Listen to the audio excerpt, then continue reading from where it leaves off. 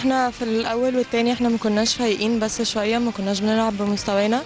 آه، بس وفي التالت والرابع آه، يعني تقدمنا الحمد لله. كنا بنعمل يعني كابتن إيهاب كان عمال يقول لنا إن أهم حاجة ال defense عشان نجري fast break هو ده اللي هيعلينا.